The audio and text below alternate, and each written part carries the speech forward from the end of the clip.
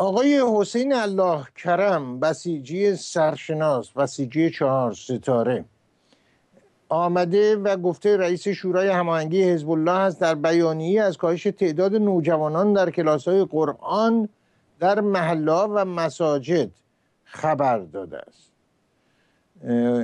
گفته آنطور که در بیانیه خودش اومده که این بابا آقای سعید توسی معلم قرآن قاری قرآن رو به اصطلاح به اشد مجازات باید براش تعیین بشه.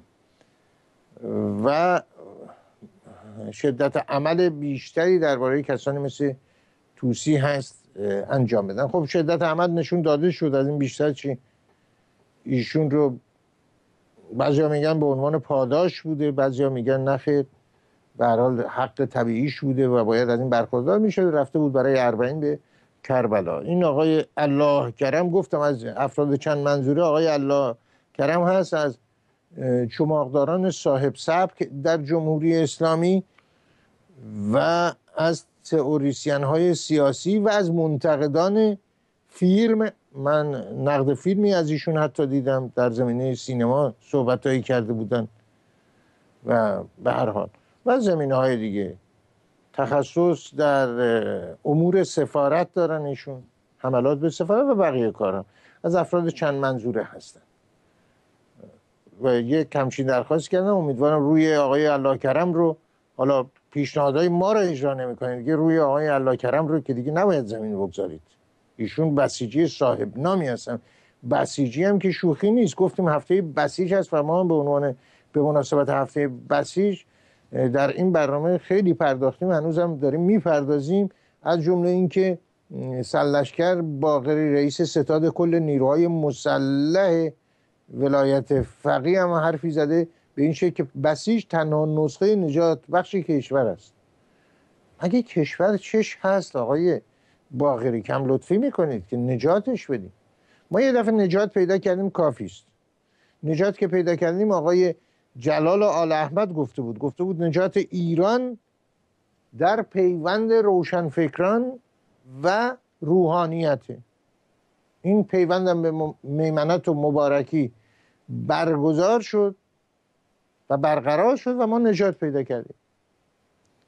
الان دوباره ما بسیج بیاد ما نجات بده ما چمون هست که نجاتمون بده مملکت به این خوبی؟ همه چیز برقرار بلبل هم روی شاخه داره. یاد آواز بسیار زیبای تاج اسفانی افتاد.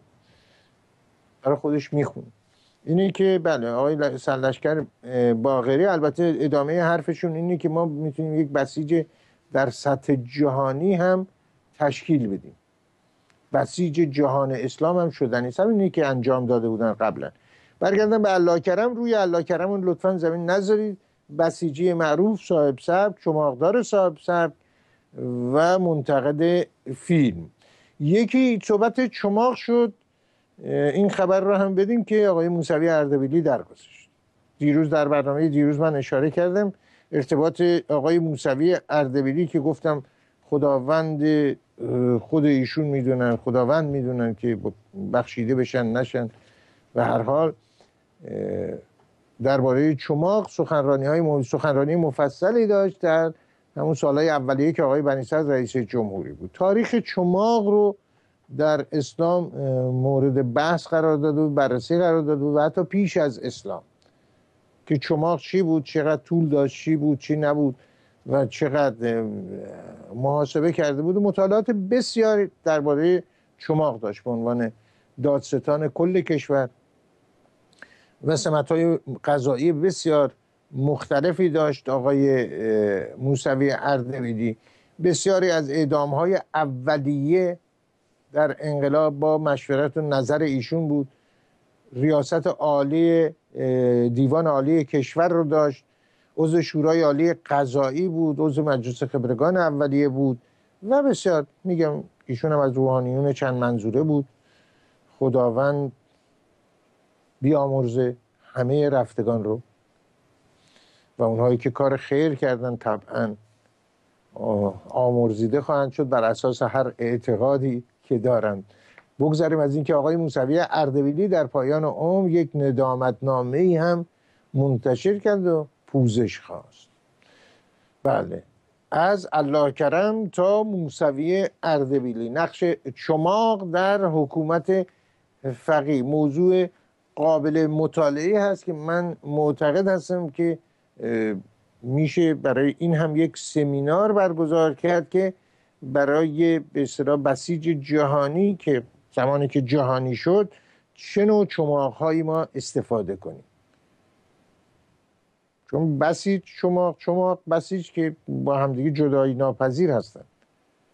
این هستش که وقتی ما جهانی شد به گفته آقای باغری باید فکری اندیشید که از چین باز وارد کنیم که چین گفتم مشغول تولید بسیاری از سفارشات ما هست. در شماره قبل اشاره کردیم تعدادی زیادی ما ولی فقی می‌خوان چون گله شده بود. در بسیاری از شهرستان ولی فقی ندارن لازم هست که داشته باشن. امیدوارم تا این لحظه من هفته گذشته سفارش کرده بودم پیشنهاد داده بودم او دستورش داده شده باشه برای تولید فقی به اندازه کافی برای شهرهای مختلف. چماق ولی ساده تر هست. شاید بشه. از الان سفارش داد بهار آینده ما به محصول برسیم و جشن گذاری هم برقرار بکنیم. پوشیدن شلوار رو که راه حل براش پیدا کردیم یعنی دیگه تنبان به کنار لونگ برقرار. این راه حل بود و الان یک کشف تازه ما داریم. چگونه به زیارت برن؟ چگونه ثواب بیشتر ببریم. یک روحانی یک ملای نو منبر دیگه. این اختراع نیست این کشفه کشف جدیدی هست. ارتباط دارن دیگه. روحانیون در قوم که میرند یا حوزه علمی هر جا که از مشهد اصفهان جایی مختلف اینی که اونجا یک وسائلی هستی دستگاهی از پنهان. مثل اینجا وزارت دفاع و ناسا و اینا یه طرحهای محرمانه هست. فیلم برخورد نزدیک از نوع سوم اسپیلبرگ یادتون هست؟ که یک برنامه محرمانه بود ارتباط با بقیه سیارات رو آمدند و رفتن. بازی درخشان درفوس در اون فیلم. این هم در حوزه علمی یک چون برنامه های پنهانی هست ارتباط با ملائکه آسمان هفتم ششم پنجم چهارم با تمام آسمان های مختلف و ارتباط می‌دونن. خیلی چیزا رو می‌دونن. اینه که تماس می‌گیرن. من نمی‌دونم چطور بگم با تلفن سلفون نمی‌دونم. تماس می‌گیرن. چجور زیارت کردن ثواب بیشتری داره. دو ثانیه پنج ثانیه ده ثانیه من نمی‌دونم چه مدت. بعد جواب میاد اینطور. چطور؟ اینطور که با هم می‌بینیم. اما یک عبارتی هم هست که در بله. خود مفاتی هم هست. در بسیاری از کتب آداب هم هست. در کتاب های مزارات هم هست. میگه ببوس زریح را و جمیع بدن خود را بر آن بمال.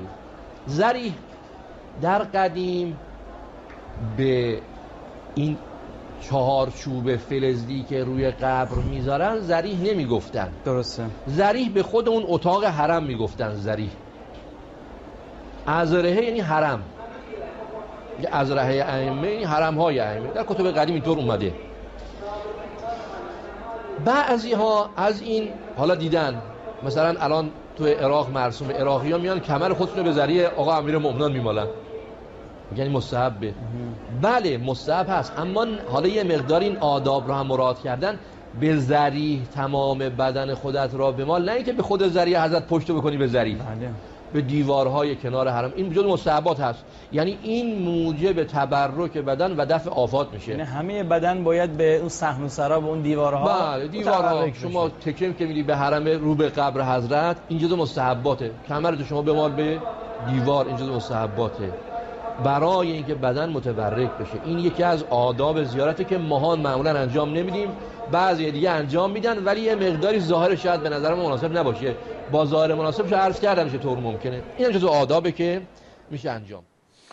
بله.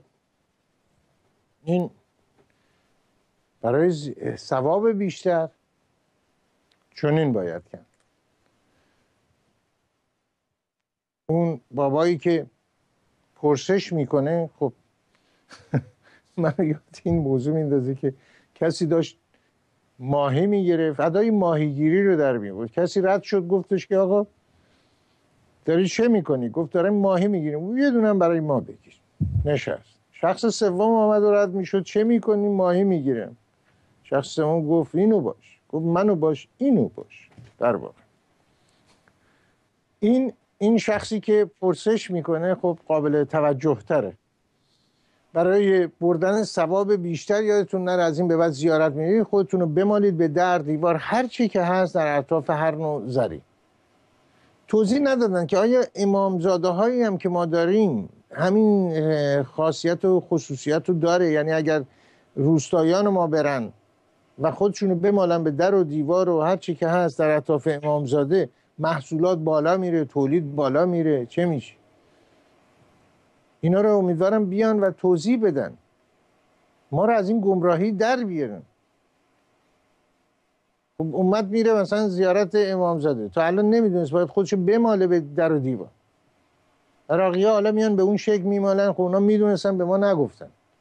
یا خودم به قول ایشون اشاره کرد بی ادبانه نباشه. میمالید در و دیوار درست و با ادب کامل دور از بی ادبی اصای ادبی نباشه. محترمانه کیلو کیلو ثواب برمیدارید برمیگردید میید خونه. امیدوارم این پیشنهاد ایشون رو هم رایت بکنید و بعد از اجرای پیشنهاد من که تنبان به کنار لنگ برقرار با لنگ من فکر می‌کنم به زیارت برن امت همیشه زائر اینه که ثوابش بیشتره. با لنگ به زیارت رفتن من خواهشم از این حجت الاسلام و یه تعدادی مسلمین این هستش که یه تماسی هم بگیرن ببینن زیارت با لنگ ثوابش بیشتره یا با تنبان در این رو من و بقیه امت منتظر رو حتما با اطلاع کنم در فرمایشات بعدیشون. اما این دشمن که میگن آقای خامنه ای و بقیه مسئولان ریز و درشت حکومت که مرتب در حال توتن واقعا وقتی دقت کنید می‌بینید. آمدن یک پله برقی های اختراع کردن که روحانیت نتونه به راحتی از اونها بالا بره. امت می‌تونه پایین بیاد ولی روحانیت بالا نمی‌تونه بره. خب این توته است. کسانی که این پله برقی ها رو وارد ایران کردن باید شناسایی بشن شرکت ها درشون بسته بشه مجازات بشن. عوامل نفوذی دشمن هستن. می‌بینیم. ببینید که حرف بی سند نمی‌زنن آیت الله خامنه ای و بقیه مسئولان که دشمن مرتب در حال توته است حتی از طریق پله برقی. ملاحظه بفرمایید.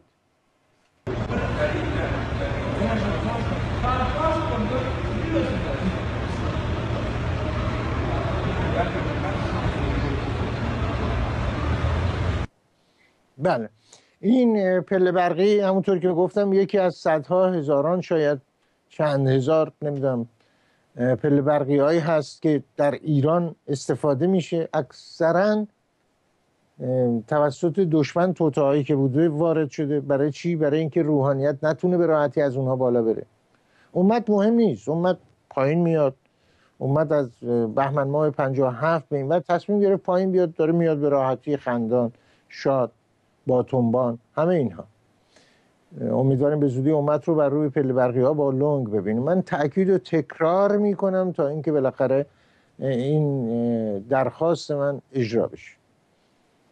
از آزادی بیان اینا از خیر اینها ما گذشتیم. همین همین یه درخواست کوچیک رو برای اینکه امت حداقل دیگه به مرضهای ناجور مبتلا نشه بی درمان مبتلا نشه. از سر خیرخواهی است به این پله برقی همونطور که گفتم باید شناسایی بشه. دشمن از این کارها زیاد کرده. الان روحانیت حتی به خارج که میاد دوچار همین مشکل. خب اینجا این کشورهای خودشون یه جوری کامپیوتر رو برنامه ریزی کردن که تا ملایی بر روی پله برقی است بلد نباشه. نتونی بره بالا. در ایران که دست خود ماست. چرا باید روحانی ما می‌خواد بره به کار هدایت امت برسه؟ معطل بشه به خاطر بالا رفتن از پله برقی. این وزارت اطلاعات چه می‌کنه؟ چرا شناسایی نمی‌کنه؟ وارد کنندگان پله برقی رو. اما برای شما چند خبر دارم. خبرهایی که به هر حال نیاز به شوک گذاری داره. نوع شوک گذاری هست. علت میگم چی هست؟ چرا باید شوک گذاری کرد؟ افت شدید قدرت معیشت خانوارهای کارگری هست. این عنوان خبر هست. آمده آقای علی خدایی عضو کانون عالی شوراهای اسلامی کار میگه که این ادعا که در طول سالهای گذشته فاصله بین تورم و دستمزد کاهش پیدا کرده منظور دولت آقای روحانی است. باطل است و نهایتا توانسته باشیم سرعت سقوط معیشت خانوار را درصد ناچیزی کاهش بدهیم. ولی ادامه که میده به هر حال. میگه افت شدید قدرت معیشت خانواده کارگری هست بسیار قدرت خریدشون پایین اومده. ارزش از همین حرفایی که این اقتصاد دانا میزن تورم و این صحبت ها بالا رفته قدرت خرید میاد پایین. از این صحبت های عادی که من بارها گفتم روحانی همین الان در حرفای دولت بودن اقتصاد به کنار. ما همیشه اقتصاد به کناره. ما از زمانی که امام امام. گفت که اقتصاد مال چهار پایان است ما ما برای اقتصاد انقلاب نکردیم که حرف دقیقی هم بود. اینی که تصمیم گذاشتیم چی؟ اقتصاد به کنار. حتی در هیئت دولت هم که میریم اقتصاد می‌ذاریم کنار پشتر و بقیه صحبت ها. چه هست؟ اینی که گفتم باید شوک گذار باشیم این خداوند که اون بالا نشسته و معتقد هم مواظب هست به طرق مختلف خداوندی. که این ملت تنبانشو نشسته میپوشه یا ایستاده رو به قبله یا غیر قبله ضمنا این ملت امت هرچه که هست رو آزمایش هم می‌کنه. افت قدرت خرید رو میاره پایین. یه مرتبه اونجا هم دختری روسریش رفت کنار اونجا هم زلزله هم میفرست. حواسشون هست خدا من قدرت خرید میاره پایین خانواده های کارگری تا آزمایش بشن تا ببینن دین و ایمانشون تا چه اندازه هست. خوشبختانه هیچ خللی در ایمان امت به وجود نیبود که می‌بینیم الان صحبت این چند, صد، چند ده میلیونی بسیجی از همین امت تشکیل بشه. امت که دیگه از چین نمی‌تونیم وارد کنیم دیگه. فقیه چرا؟ ولی امت سخته. امت به زحمت ما تونستیم تولید کنیم. خود ما. داریم صادرم می‌کنیم. همین 40 میلیون بسیجی که شد گروه بسیارشون صادر می‌کنیم. به فرصتی من دربارهش صحبت می‌کنم حتما مثل خبرهای دیگه که قرار شد. یک روز من باید یک برنامه ویژه بگذارم برای موضوعات نیمه تمامی که قرار شد یک زمان راجبی صحبت کنیم. وقتی اون کم هست متاسفانه اینه که من موکول می‌کنم به برنامه های آینده بنابراین شوک گذاری داره. که مورد آزمایش خداوند ما قرار میگیم اینقدر مورد لطف هستیم که در مزان امتحان هستیم. مثل ایوب و بقیه که مورد امتحان قرار گرفتن. ابراهیم و بقیه. ما هم مورد امتحان قرار گرفتیم. از قدیم هم مولوی هم همین حرفا رو می‌دونست که گفت تن رها کن تا نخواهی پیرهن.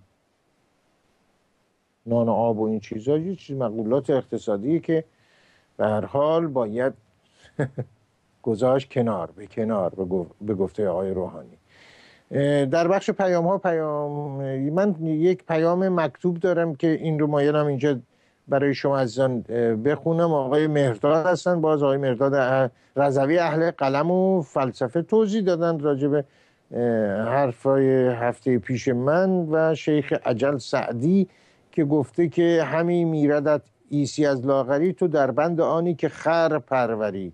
منظور شیخ اجل سعدی به تمامی اولاد آدم علیه السلام در امتداد تاریخ متذکر شده که روح به اصطلاح کنایه است از عیسی و به هر حال که اگر رسیدگی نشه به مرتب لاغر میشه و رو به مرگ خواهد رفت. سپاس بسیار تنها ایمیل ایشون هست که منو امر به معروف نکردن. در این یکی دو دقیقه این ایمیل رو مایل بودم با شما در میون بذارم و سپاس از آقای مرداد رضوی اهل قلم و اهل فلسفه.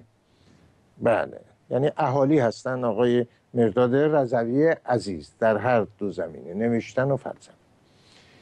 برای ما نظرات خودتون رو بگذارید حتما در برنامه تفسیر خبر بازتاب داده خواهد شد. با شماره تلفنی که روی صفحه می‌بینید تماس. بگیرید منتظر نظرات شما هستیم. به پایان این برنامه می‌رسیم. در این روز شکرگزاری برای همه شما عزیزان. آرزوی تندرستی و شادی روزافزون دارم. برای کودکان ایرانی و کودکان همه جهان. آرزوی آینده روشن برخوردار از تندرستی و امنیت و رفاه دارم. با امید به فردایی بهتر.